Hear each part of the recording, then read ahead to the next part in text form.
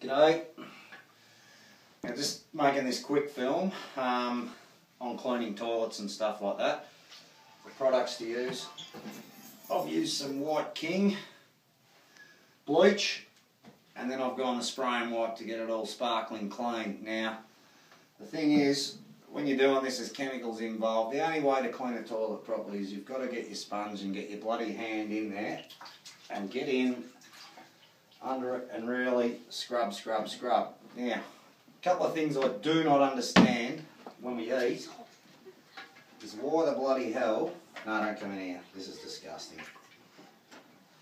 Oh, God. You just got to do it sometimes. Spare with me.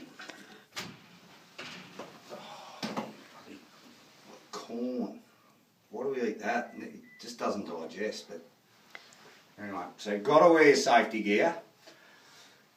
You blokes out there, when you do an AGB, which is an after grog bog, and your missus is laying in bed and you're in the shower and you've just had one and it's come out like that, and it won't flush, and you just, and she's like, oh darling, I'm about to get up and have a shower. You're like, oh shit, what am I going to do? I've got no bin.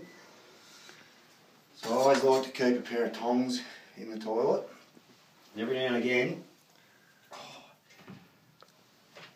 you get that big bugger that just won't go down the dunny. So sometimes you've just got to make sacrifices and